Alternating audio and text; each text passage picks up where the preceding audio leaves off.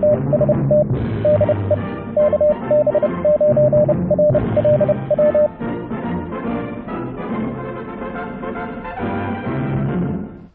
YouTubers and fellow hams. Well, this will be the third and final installment in what has become a short series on receiving satellites. I had a couple of my Patreon supporters ask me to detail how I automate uh, capturing the satellites between gPredict and GQRX, the SDR receiver software I like to use. So that's what we're going to talk about today. Uh, there is a function built into gPredict Oh, and a side note, um, I had somebody say they couldn't find the Windows installer for gPredict. Um, I took a quick look, I didn't find it either, but I have seen videos of people using it under Windows. So I know it's out there, I'm just not sure where.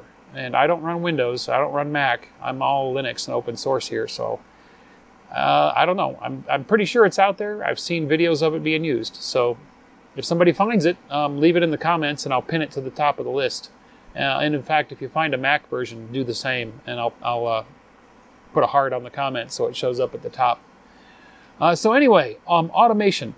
There is a module in gPredict that lets you automate control of external devices, like radio receivers, where you could use it to adjust the frequency in real time to track the Doppler shift of the uh, satellite as it goes overhead. Uh, and then there's also facilities for having it control um, servo motors and rotate beams to track satellites. I'm not going to get into that. Uh, that takes a lot of hardware, and uh, I'm sure there's other guides out there if you're interested in that. But what I use it for is I use it for automating capture of satellite passes. Uh, so, like as an example, the ISS this week uh, was being used to transmit some slow scan TV images by the cosmonauts on board for Russia and Europe. Uh, so I hoped they'd be transmitting when they were over us, and I wanted to capture all the passes and see if I could catch an image. Um, and I didn't, but we'll talk about that a little bit later. I've got some uh, some media for you there. So anyway, uh, gPredict can automate controlling a radio for tracking um, satellite frequency. That's in a lot of satellite tracking programs. But let's, uh, let's go look at gPredict and how that works with GQRX under uh, Linux. Okay, if I want to have gPredict remotely control GQRX, the receiver, I have to configure that. And here's how we do it. So, these little icons right here at the top, remote control via TCP, that's networking, and configure remote control settings. If we click on that, we can see that GQRX is going to listen on TCP port 7356. That's a networking port uh, locally on this on this machine. So it'll listen for network connections from other programs running on the same machine on 7356. Make a note of that. And then this icon here enables that that remote control. If I click that, it goes dark. Now GQRX is listening on that network port. So let's go over here to gPredict. All right. Uh, we'll go to Edit and Preferences.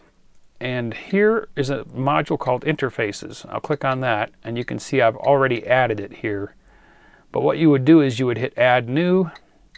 You'd put in a title, GQRX. Host, local host means on this machine, and then we would just change this port number to 7356, same as GQRX. And that's all we need to do there. And we hit OK. And then that will add this entry. So now gPredict can talk on that same network port to control our radio. All right, now we'll come up here to this little drop down and we'll go to radio control. And this is the magic module here. All right, um, you can have it control both an uplink and downlink frequency. Um, I'm just going to be worried about downlink because we're just receiving for the ISS. Uh, settings, device, this is where I choose that entry that I added, GQRX. Up here on downlink, I'll set the frequency that I want to monitor. So I want to monitor 145.8, which is the downlink frequency for the ISS slow scan TV stuff. Um, and that's pretty much it. Uh, I'll hit engage here, and that will start talking to um, GQRX. And then I'll choose the satellite that I want to track, and in this case I want to track the ISS, and I'll hit track. Now, it's going to, even though the satellite is basically on the other side of the Earth right now, it's still doing the Doppler calculations based on its relative velocity to my location. And it's adjusting the frequency here. And indeed, if we go back here to GQRX, you can see that the frequency is being adjusted in real time to account for Doppler shift. There's nothing being received right now because, you know, as I said, the satellite is over Europe, and, or the ISS is over Europe, and it's going to have to go well the way around before it comes past Kingman again. But uh, I might not be sitting here ready to hit the trigger, so this is why I'm automating. What's going to happen when we get acquisition of signal, AOS, in one hour and five minutes, uh, is this module will send a command to GQRX to start audio recording. Down here, record audio. That'll automatically trip and it will record until the loss of signal and then it'll turn off recording. So GQRX will now automatically record the pass as it goes by. Um, I am going to unsquelch the audio and I have it turned way down. Okay. Um, this gain, by the way, is just like a volume control out of the program into the system. Uh, this is not going to affect the recording level. The recording is going to be uh, right up to uh, 0 dB. It's going to be a full um, uh, audio recording of the incoming pass and any audio that's, that's demodulated. So I can turn this gain down so I don't have to listen to that for hours and just leave it alone. And what's going to happen now is every single ISS pass that occurs today GQRX is going to automatically record and create an audio file. So uh, in about an hour, I should get a recording as the uh, ISS goes overhead. Now, while this is controlling um, the program, it's only adjusting frequency. I can make other changes. I could change the filter width if I wanted to. Um, I could change the mode if I wanted to. I say I wanted to record upper sideband for whatever reason, boom. It's, you know, I can do all these changes. You can see the frequencies still cycling. So I can set up the receiver however I want it to be uh, before the pass and then just forget about it and uh, it'll be ready to go and it'll record every single pass of the uh, ISS until I until I unclick this track button and we're fully automated to record uh, multiple passes. So we'll see if I get lucky and if they are transmitting slow scan TV when they pass overhead. And I know that they're going to be FM. And I know that my filter width has to be 20K. So I'll open that up to there, 20.2K filter width. So I am all ready to record and we'll just leave it alone and come back in an hour and verify that it's actually recording the pass and hopefully they're transmitting. So that's pretty cool, huh? Now, I did mention earlier that um, I was going to try to capture some slow scan TV images from the ISS. Uh, I was successful, but not directly. Uh, they were not transmitting when they were passing overhead. I captured several passes and heard nothing but silence. However, I did, during their window, uh, notice that they were going to pass over Europe a couple of times. And so I went ahead and, uh, as we saw in a couple of videos ago, you can use WebSDRs to capture uh, the NOAA satellites. Well, you can also capture the ISS when it's transmitting. Let's go look at that.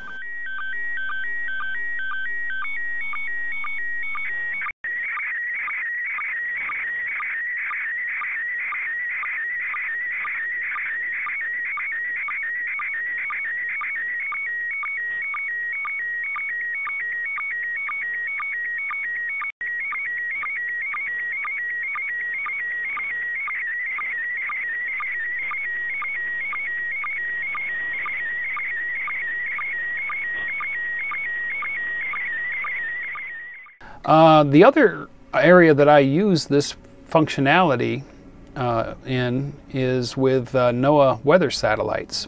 And uh, I can see here that in about 10 minutes I've got a pass of NOAA 18 coming up.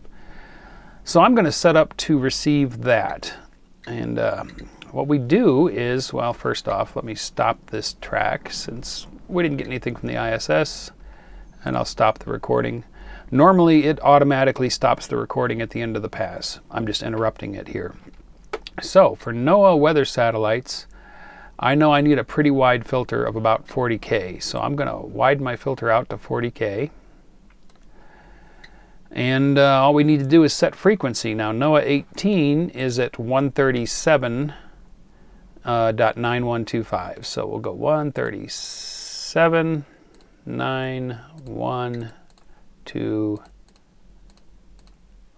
five. And you can see it's changing up here automatically as I'm changing it here. I'm still engaged. So this module is still in control of GQRX. All right, let me find my, there it is. Oops, ah, I screwed it up. Ah, I screwed it up again. 137.9 one, two, five is what I want to monitor. And it's right there. Let me zoom in on that a little bit. We're set to 40K, FM. Everything here should be correct. All I need to do is select NOAA 18 as the satellite that I'm tracking. This list, by the way, will show you all the active satellites that you have uh, over on gPredict.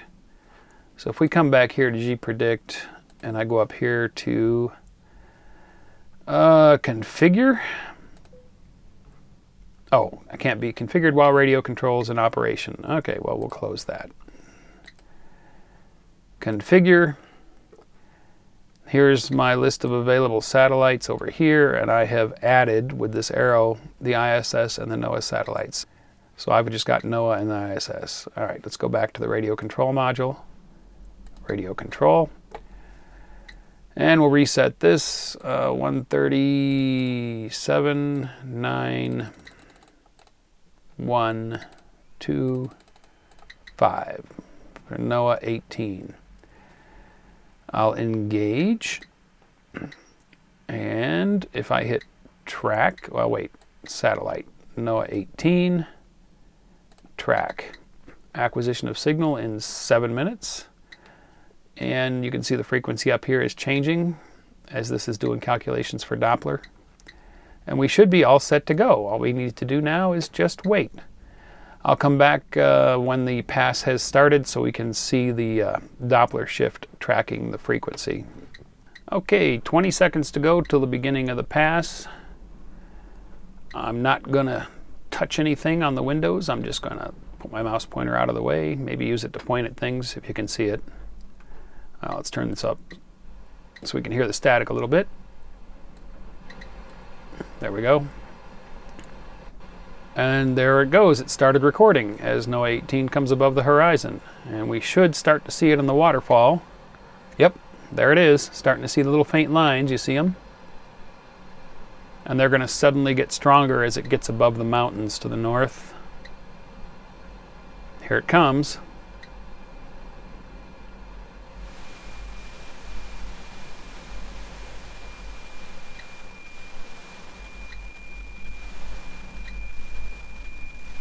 That old familiar sound of the NOAA satellites.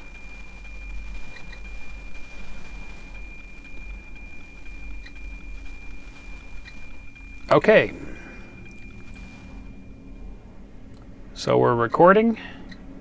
We're right on the center frequency.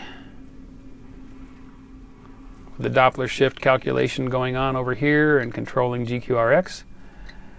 I'm going to go fast forward so we can watch the pass. And what you can watch is you can watch this signal or the frequency shifting and following um, the pass due to the Doppler effect. So here we go, fast forward.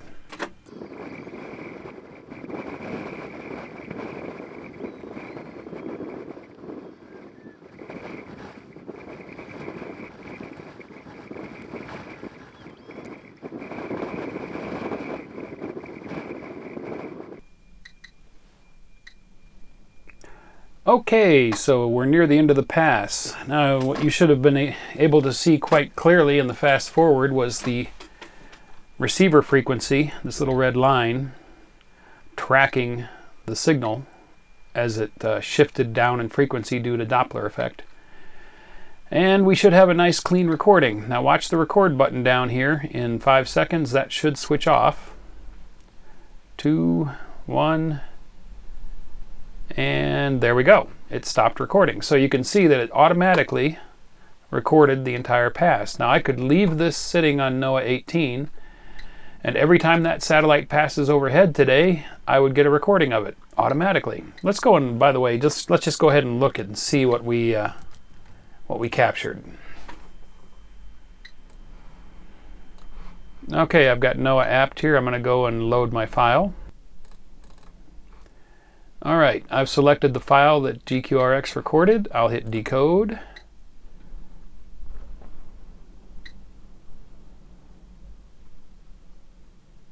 And we'll go over here to processing and we'll hit process.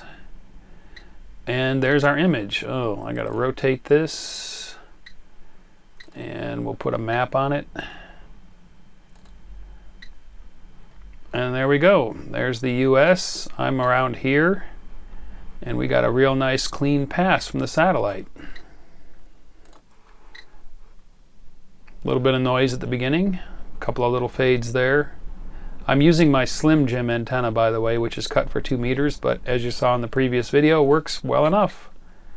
So there you go. I hope you found that useful and informative, and this will conclude my three-part series on receiving satellites uh, with Linux.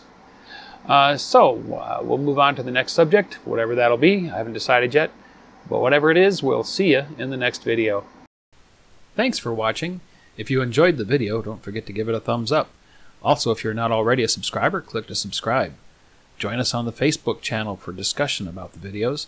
And if you'd like to help support this channel, please click to support me on my Patreon page.